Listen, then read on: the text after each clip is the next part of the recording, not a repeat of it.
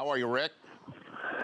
Well, I'm doing good. I'm just a little concerned about my uh, former team because they're not playing very good basketball right now. And, uh, you know, they deserve. They're they're actually probably fortunate that they're uh, that they're only down two games to one because they didn't play all that great the game that they actually won. So I'm concerned about them. So, what do you think Steve Kerr needs to move around on the on the chessboard to get Game Four in the win column, Rick? Well, I don't think he has to do a lot of things other than the fact that they he's just got to get the guys to play basketball the way they're capable of playing for more extended periods of time. When the Warriors execute offensively and defensively simultaneously, so that they're, everything's going well for them, they're a very difficult team to beat. Um, and they only have done that in about 15 minutes in the first two games, and they didn't do it very well in the last game at all. Uh, and if they play like that, they're going to lose. It's very simple. But when they play that way, they're they're just almost impossible to really beat because everything's going well. They're shooting the ball well. They're playing the great defense. They're playing the type of tempo they want. They're passing the ball. They're moving it, and they're their own worst enemy. They have rich. They get into a situation at times where they come down. They take quick bad shots. They don't move the ball. They don't put the pressure on the defense to have to react to the things that they're doing. They don't create the easy shots for themselves. And when they do that, they're vulnerable. And then, of course, Oklahoma City played, you know, an outstanding game the last game. Mean, they just shot the heck out of the basketball, playing with a lot of confidence. So it's going to be a formidable task for them to try to get this victory tonight. But they can do it if they just go out and play what I call Warriors basketball on both ends of the court. Rick Barry, Hall of Famer, joining me here on the Rich Eisen Show. Where did you stand on the Draymond Green kick to Steven Adams and its intent? I don't think it was an intentional foul. I mean, I, I don't think he intentionally tried to to kick him in the groin. Um, had his, I, just don't think he did that. And I mean, he said it himself. He seemed very sincere in it. Uh, and everybody has their opinion about what it should be. And I just, they just, everybody this looks for something to make a big deal about. I mean, things like this happen in the game. People flail after you get fouled. You try to make the officials think that you really got hit, and the arms go out, the legs go out. I just don't think that he did it on purpose. I really don't. I don't think he's that type of a player and I'm glad that they didn't, you know, suspend them for the game. Rick Barry joining me here on the show. Okay, so um, now what? I mean, guys, I, I, mean, you broke it down X's and O's style here, Rick. Uh, is this the this is the part where we learn the championship mettle of this team and whether it can match last year's? Correct tonight? Yeah, absolutely, absolutely. And the thing that went, that went with it is that in two of the games they just actually shot very poorly. I mean, you uh, you always say that you can live and die with the three point shot. Just ask Cleveland about that. Oh my God, did they get a little overconfident about their three point shooting, and it just killed them in the games up in Toronto.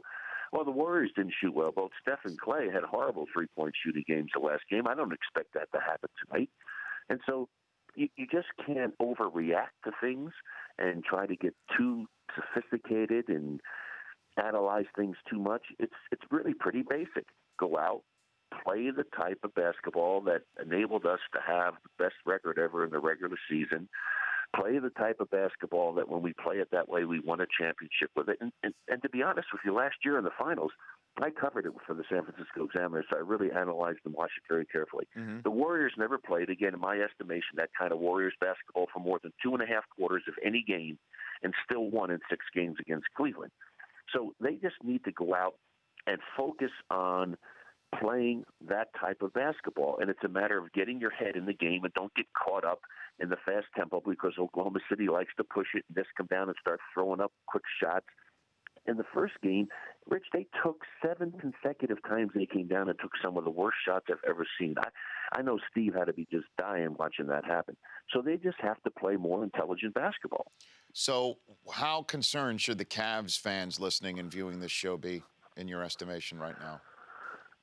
Well, if the if they play the way they played up there, with relying on the three point shot and thinking they're going to win because they shot over fifty percent in two games back in Cleveland, they're going to have a problem. I mean, look at how few free throws they had in the last basketball game. They didn't attack them, they didn't penetrate, they didn't force them to put them at the free throw line. They played a perimeter game. The team that can beat you from the perimeter is the Golden State Warriors. The Cleveland Cavaliers, on a consistent basis, are not going to beat you from the perimeter. And they got carried away because they just were insane from the perimeter in those first two games. And they went up there and they played the same type of basketball, and it didn't work for them. And I think you know credit to, to Casey for doing what he did is that he said, okay, if you're going to you know beat us, we're going to lose to the three point shooting. We don't think you can continue to do that. And he was absolutely correct, and they didn't do it. And so they've got to go and start pounding it inside, have LeBron penetrating, getting to the basket, getting to the free throw line, take the threes if they're open, but don't rely on the three point shot if they're going to win the series. Well, last night uh, in these post game comments, LeBron was asked if he had a different game plan prior to game four than he did in game three, because he definitely was more of a scorer last night. And this was his response. I'd love for you, um, as a uh, Hall of Fame scorer yourself, to try and interpret this for me, because a lot of people are thinking that there's stuff between the lines to be read about LeBron and his teammates. I think I played um, to the game plan that I wanted to play, both offensively and defensively. For me, I gave everything that I had in the 46 minutes that I played, both offensively and defensively. I uh, felt great. Tried to get my guys involved, get myself involved. So uh, my individual uh, game plan that was pretty good. What do you make of those comments, Rick?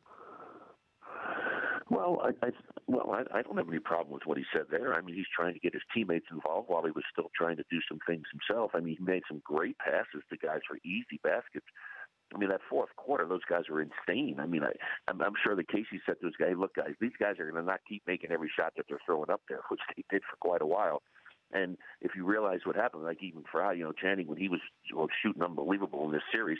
Well, when the game got really close, when they come, to, they cut the 18 point lead down. And what happened in that one, Rich, is that they got back too soon.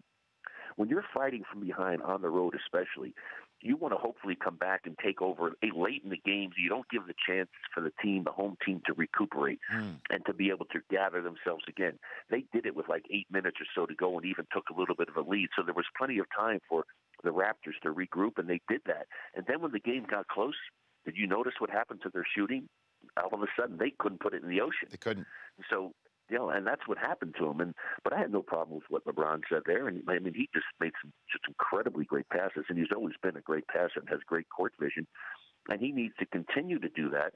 But they can't rely on their three point shooting. That I think has been their Achilles heel right now. Because I mean, just during the regular season, they weren't a three point shooting team.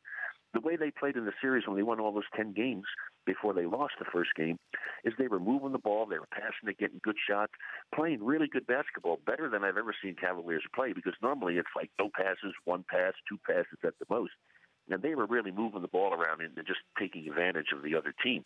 They need to get back to that type of basketball if they want to pull this series out. But they have home court advantage. That's what you play for. Now they have to take advantage of that. How's that water that you were mentioning the last time? The hydrous. Hey, you know what? The last time I did the show, we got a letter from a lady who, who wrote in and said that she had no idea she was dehydrated. She thought she'd try it and she was having issues that I talked about, like my wife, and she said that it's changed her life. And so, you know, anytime that people have an opportunity that you can do something to help people, it's great. But hydrusperformance.com, H Y D R U S performance.com. Check it out. Put number 24 in the promo code. You get a discount, but read about it because most people walk around dehydrated and don't have any idea, and you have a lot of ailments as a result of that. So just read about it, check it out, and if you like to get some 24 in the promo code, and you'll get a discount. I think just help you feel a little bit better because you'll walk around hydrated. That's pretty neat. Somebody uh, listening to the show, listening to you on the show. That's pretty cool. Um, since uh, also last time we spoke, Andre Drummond, uh, Stan Van Gundy said was uh, going to think about shooting his free throws underhanded. Did you hear about that?